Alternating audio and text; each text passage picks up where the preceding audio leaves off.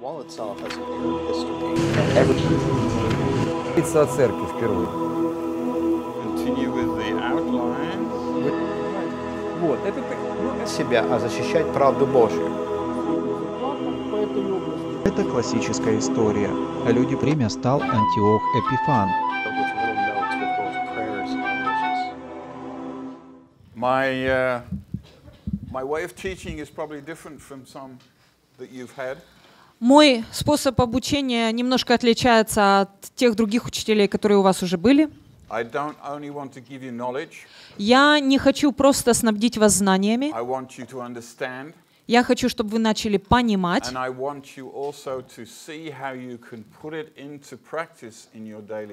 Но также я хочу, чтобы вы поняли, как вы можете практически использовать эти знания в своей ежедневной жизни. So be prepared to be moved Поэтому будьте готовы, что вас сдвинут с вашего образа мышления. Okay, what I'm going to teach on this week is something that I haven't heard a lot of teaching on. И то, чему я буду учить на этой неделе, я сам не слышал много учений на эту тему. Um, in John chapter 15, verse 8, Если мы обратимся к э, книге Иоанна, 15 главе, it says, This is how my Father is glorified, in your bearing much fruit. This is how you will prove to be my Talmidim, my disciples. verse 14, Uh, 15, 8. 15. Итак, э, Иоанна 15 глава, 8 стих. «Тем прославится Отец мой, если вы принесете много плода и будете моими учениками». Okay, we'll be making, um,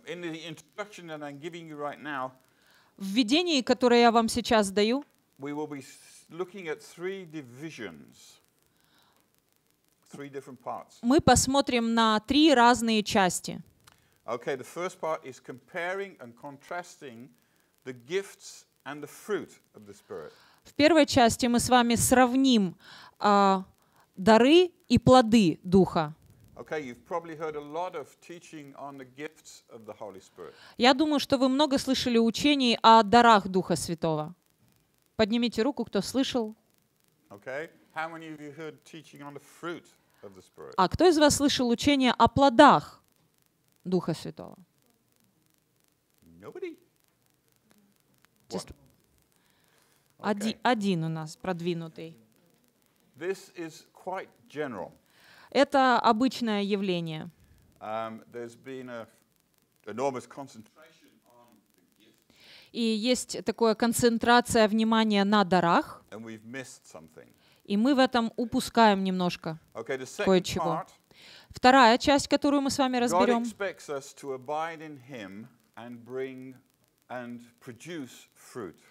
Бог ожидает нашего подчинения, послушания и чтобы мы приносили плоды. Ожидает плодов от нас. Полу- э, все, все понимают, потому что если вы вдруг не понимаете чего-то, просто сделайте какую-то пометочку, поднимите руку, мы попытаемся ответить на вопросы или в конце урока. Но у нас много материала, которого надо покрыть, и только пять вечеров. Maybe five. we need five. Okay, Нам надо минимум пять вечеров. okay. The third part Третья часть.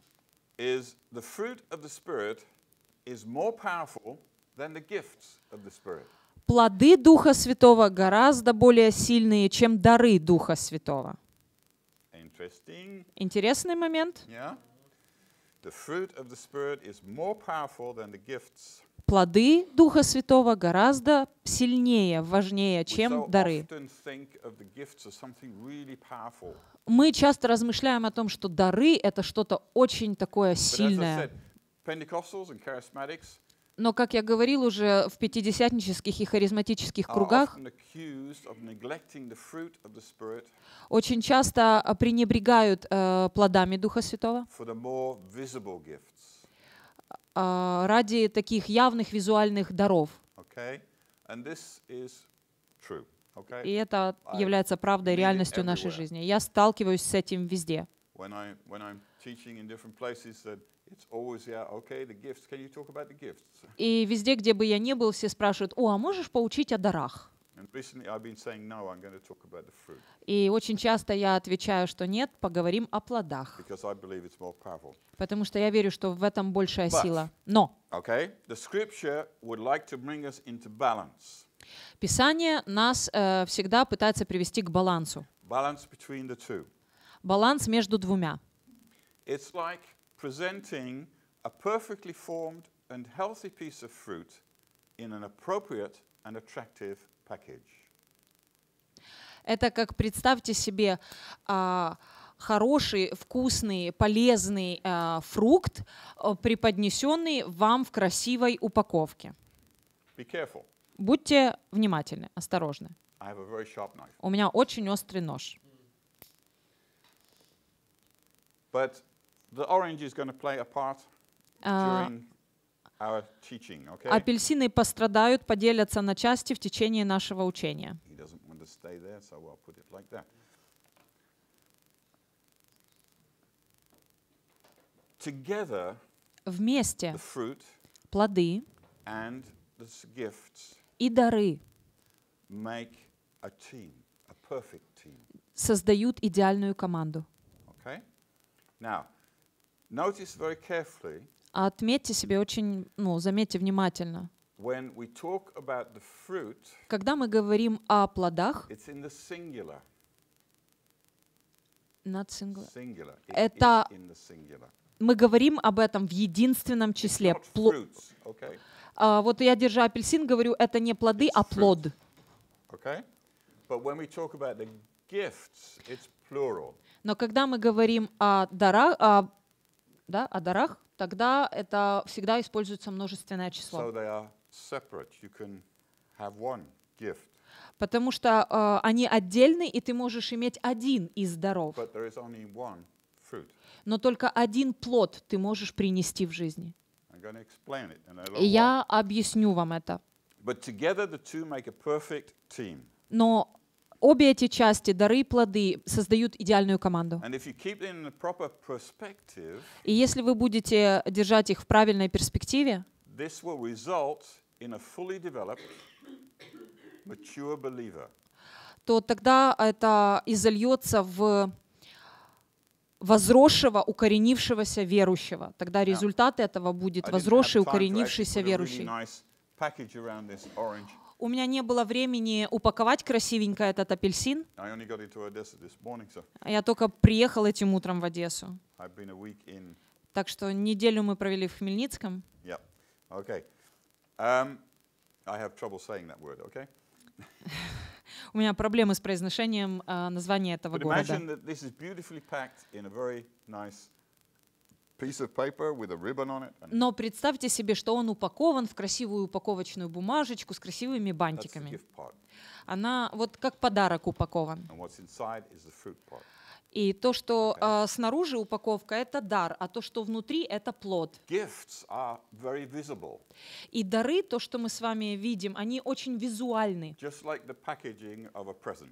как упаковка любого подарка. They are quickly seen Их можно увидеть очень быстро и иногда очень громко. Have you uh, wrapping paper? Иногда вы разворачивали подарки, которые в такую жутко шуршащую бумагу упакованы. Okay, you're going to get a lot of Bible here. You're going to get a lot of Bible texts. Э, Мы, короче, сегодня будем касаться большого количества библейских Okay, текстов. so you need to keep up. 1 Так что- Corinthians 13, verse 1. Держите во внимании все. И сейчас мы обратимся с вами к первому Коринфянам. Okay, 1 Corinthians 13, verse 1. I may speak in the tongues of men, even angels, but if I lack love, I have become merely a brass cymbal which makes a lot of noise. И в 1 Коринфянам 13 главе, 1 стихе мы читаем, «Если я говорю языками человеческими и ангельскими, а любви не имею, то я медь звенящая и кимвал звучащий». Я хочу, чтобы вы отметили, что, на что Павел обратил внимание здесь. Что можно говорить людям на языках человеческих и ангельских. Это дар. Но если я не имею любви, которая является частью плода, я просто создаю много шума из ничего. God's word teaches the need for both gifts and fruit. И Божье учение говорит нам, что мы нуждаемся в двух частях – дарах и плодах. The use of public gifts Использование пу- публичных даров is to be judged and evaluated for its meaning and appropriateness. Использование явных таких визуальных даров э, это значит быть судимыми э, по их цели назначения По их значению и их цели. В правильном ли они месте находятся эти дары и в правильное ли время используются. time. 1 Corinthians 14, И это мы можем найти в 1 Коринфянам 14 verse главе. 29. 1 Коринфянам 14 глава, Let two or three prophets speak, while the 29 others стих. «И пророки пусть говорят, двое или трое, а прочие пусть рассуждают». А также 1 Коринфянам 14 глава 32 стих. Also, the prophet's spirits are under the prophet's control. «И духи пророческие послушны пророкам». Okay, we need to understand that the gifts, we control the gifts. Мы должны с вами понимать, что мы являемся теми, кто контролирует дары. Мы можем-. Мы можем говорить на языках или не говорить. Мы можем пророчествовать или не пророчествовать. Мы можем молиться за исцеление или не молиться.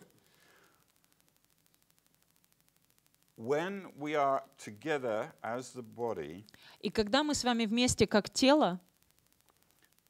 or when the gifts are used in that context, или когда дары используются в таком контексте, there needs to be an understanding that they are to be evaluated, they're to be judged, they are to be а, н- надо иметь э, всегда понимание, что они будут испытуемы и исследуемы, эти дары. But never does the scripture encourage believers to inspect people's characteristics by their gifts. Но никогда Писание не говорит нам исследовать человеческие характеристики э, и человека, его сущность по дарам. Yeshua did say, however, В любом случае, Иешуа сказал нам, что мы должны исследовать людей по плодам,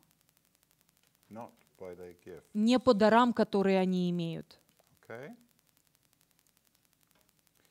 God instructs us to be fruit inspectors. Бог э, говорит нам, чтобы мы были э, инспекторами плодов. Matthew 7, verse 16. И это мы можем найти в Матфея э, 7 главе, э, 16 стихе. You will recognize them by their fruit.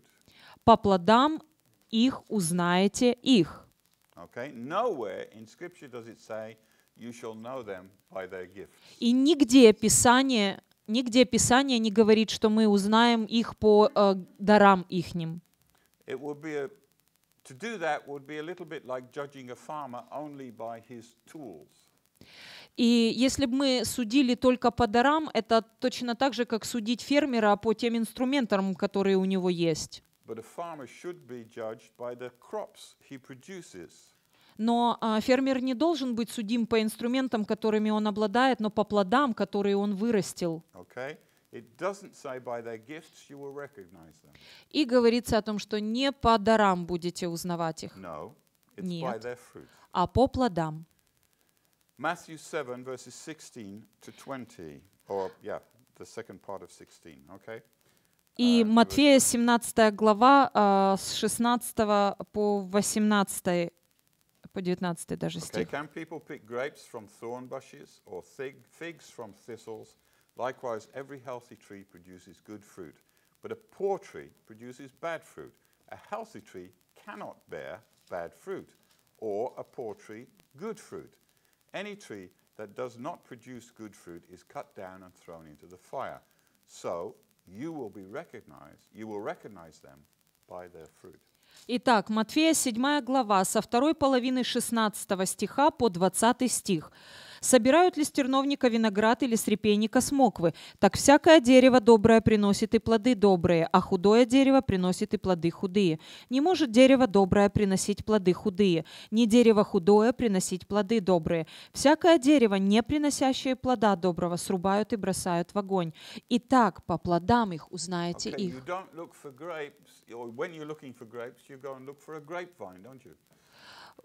Вы не смотрите, когда собираете урожай на виноград, вы ожидаете получить вино с него.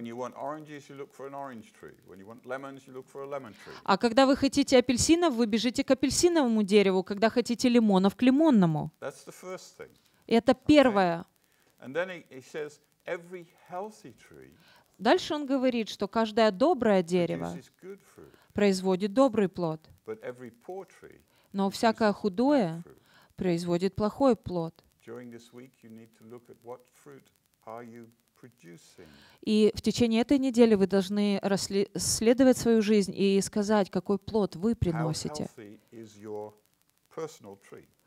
Насколько здорово ваше личное дерево. Хорошо? Дальше мы затронем больше деталей. Например, кто-то имеет э, яблочную или персиковую э, плантацию, во, правильное слово. telling you, oh, come and have a look at my orchard. И говорят, приди и посмотри на все деревья, которые у меня есть. And when you get there, he takes you to a tool shed. И, и когда, он, э, прив- когда вы приходите, он заводит вас к сараю инстру- с инструментами. said. И он говорит, смотри, какие у меня лопатки, тут всякие дела есть. У меня ножницы для обрезания деревьев крутые, вилы, лопаты, все крутое. И э, потом посмотри на тележку.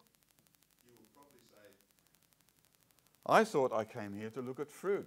Вы, скорее всего, зададите ему вопрос. Слушай, я вообще пришел на деревья с плодами посмотреть. And he's showing me his tools. А он показывает мне мои инст- свои инструменты. Why doesn't he show me his peaches? Почему он не показывает мне персики? Of course, the tools play a part. А, да, на самом деле инструменты играют э, большую роль. But it's one way of looking at the relationship of gifts and fruit. Но это однобокий взгляд на э, дары и плоды. Дары — это инструменты, которые Бог дал телу для того, чтобы были мы способны выполнить работу и чтобы мы могли произвести плод. Okay? Okay? В этом большая разница. Уловили? Gifts, Дары. uh, point three here is gifts are given and are not a sign of holiness. Дары были даны нам, и на них не было э, подписи э, «святость». Okay? Gifts are given, Дары были просто даны. they are not a sign because you have gifts or certain gifts or some gifts that you are more holy or more better. И если у вас есть один дар или совокупность даже нескольких даров, это совсем не означает, что вы лучше кого-то другого или что вы более святы. В любом случае, почему-то по всему пятидесятническому миру про- пришло вот это понимание и верование, что дар это знак святости. И- или что вы более чисты, или что вы более богоугодны пред Господом. И, к сожалению, есть много неточных э, учений, that someone you being having been given a gift and using it that he can never make a mistake. Есть такое вот учение, понимание, что тот, кому был дан дар свыше, и кто используется в даре этом, никогда не совершит ошибку. Но нам надо очень четко понимать, и я на этом буду делать акценты, что есть огромная проблема с этой идеей. Yeah,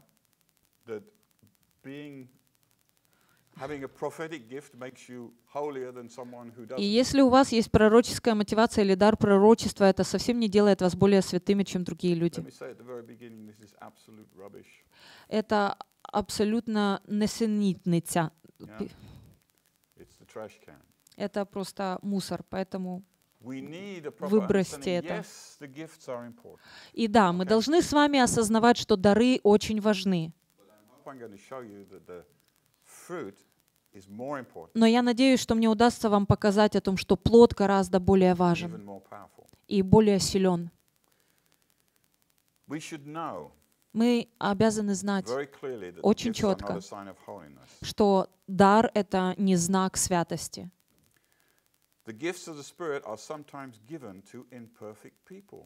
И дары Божьи, э, Духа Святого даны несовершенным людям,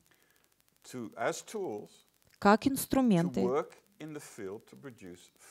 работать на Божьем поле, чтобы производить плод. Вы несовершенные, я несовершенный. Но Бог дал нам дары. Он, он дал мне дары, Он дал вам дары.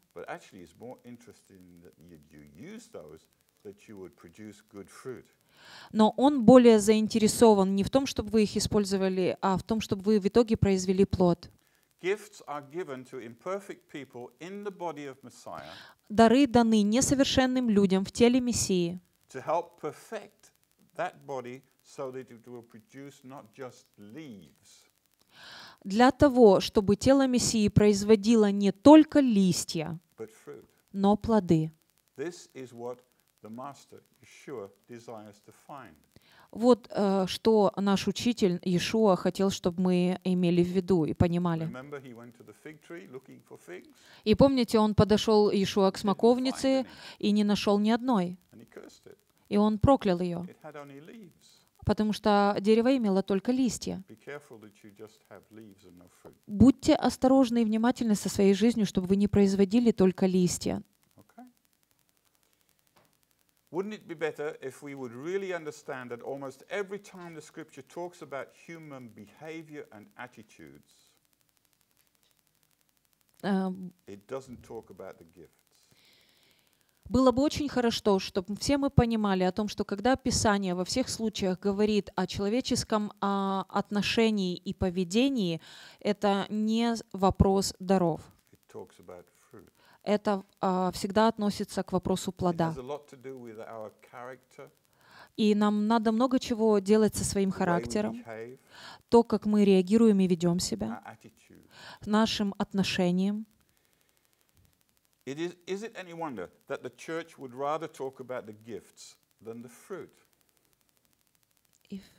Okay? The talking about the gifts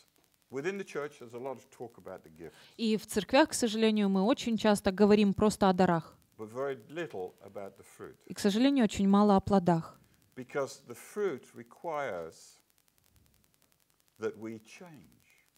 Потому что плоды э, доказывают, показывают, что мы поменялись. Gifts Дары are just gifts, просто являются дарами. Но плод показывает ваше возрастание. Yeah? You see the difference? Видите разницу? Дар просто дан вам.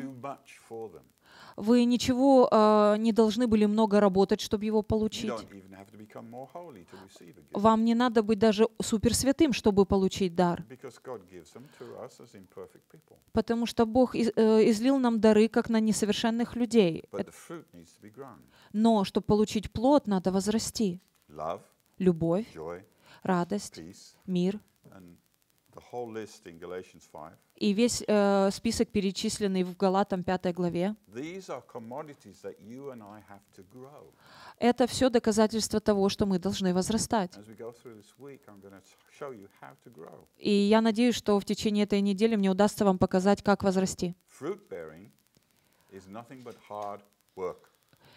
И собирание плодов, да, фруктов, это всегда тяжелый труд.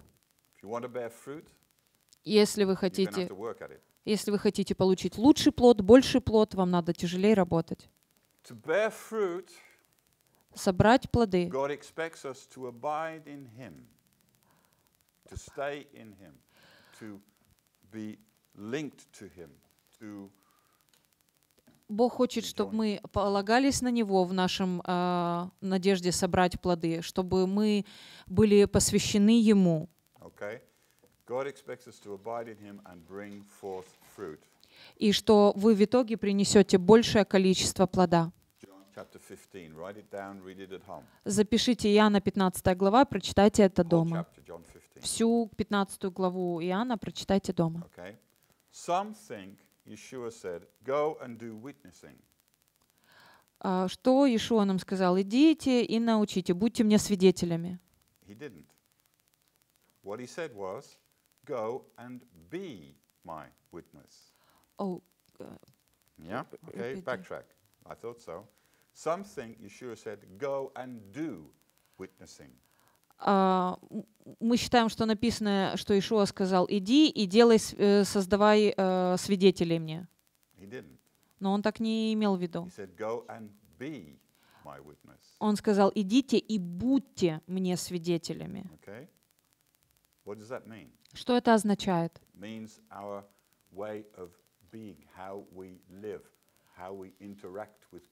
Это означает то, как мы взаимодействуем с неверующим миром, о том, как мы ведем себя, о том, каково является наше поведение. Some others think that Yeshua said, You have done a lot. В другом месте Писания Ишуа говорит, You are a good and prosperous servant. Вы, ты сделал много, ты добрый и верный раб. He won't. What he said was, Well done. Но а, это не точно, потому что на самом деле он сказал, it well. молодец, ты сделал все хорошо, ты сделал все правильно. Come. Faithful servant. Войди в радость Господина, добрый и верный раб. Numbers or statistics, Статистика, like, them, uh, like gifts, are in themselves no proof of spiritual strength. light gift, Okay.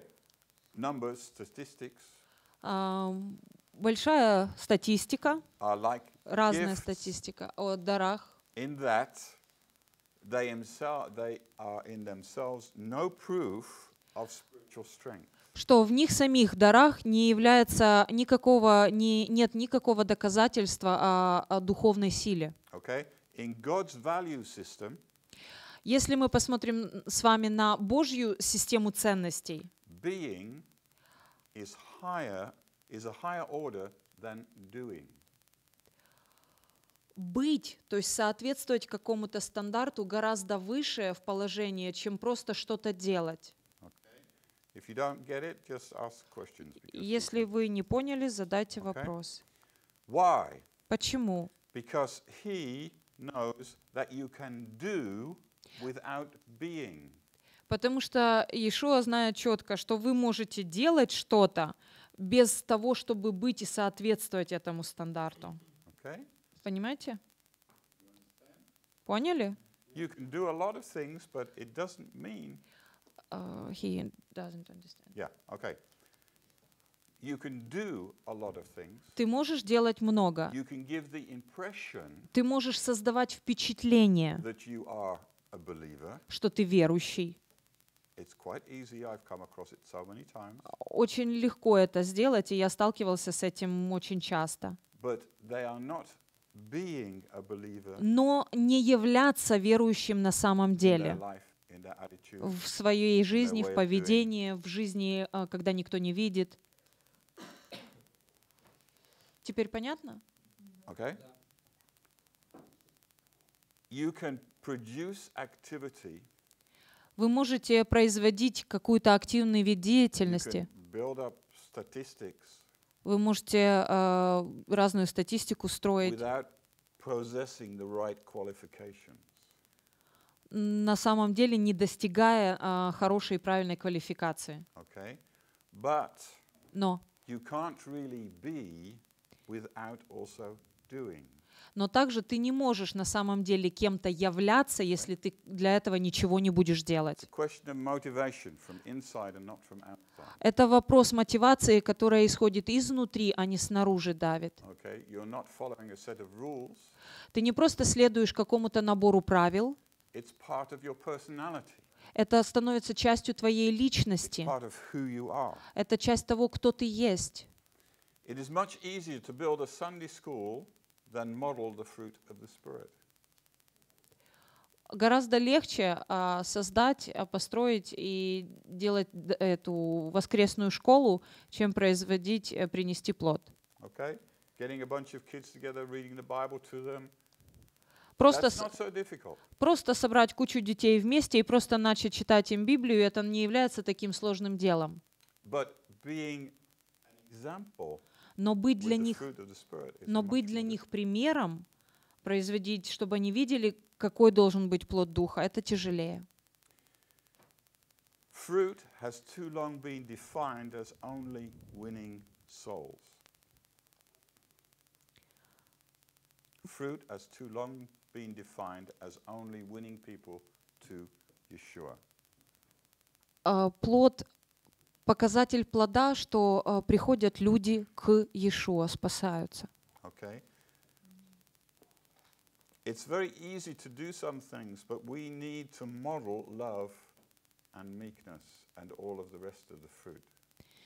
Очень легко что-то делать, но гораздо э, важнее иметь настоящую любовь, милость и все остальное, что перечислено в э, плодах Галатам 5 When I главе.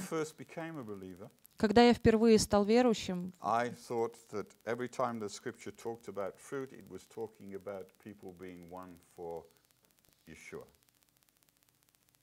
one for Yeshua. One. Being, um, yeah. That they would become believers. Когда я стал верующим, все, что я увидел в Писании, что, что верующие приводят людей к Иешуа, спасают. Вот это плод. Okay, I'm not saying that's a completely Что wrong только- interpretation. Что только спасение является плодом, который мы должны I приносить. believe that you can find it al- also in Scripture. Я э, не думаю, что это не совсем неправильное определение. Мы можем найти это в Писании. Gift. Но мы должны с вами не забывать, что плод — это не дар. Fruit is produced and grown. Плод, он а, произрастает и возрастает, он растет. У него процесс есть.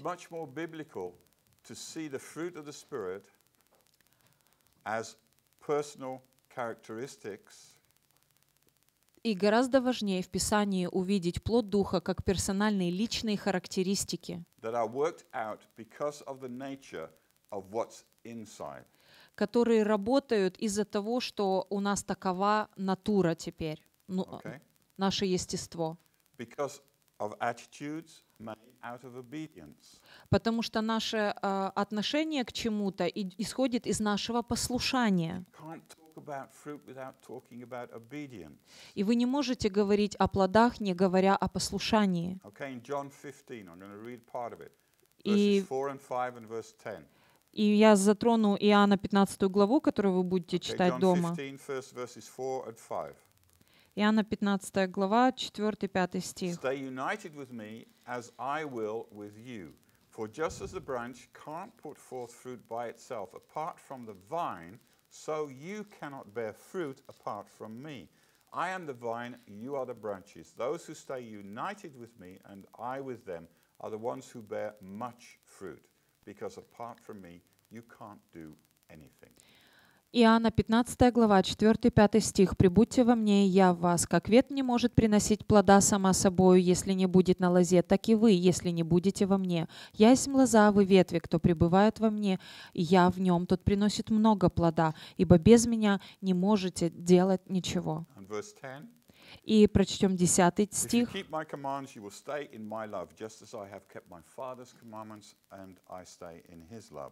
«Если заповеди мои соблюдете, прибудете в любви моей, как и я соблюл заповеди Отца моего и пребываю в его любви». Сейчас маленький перерыв.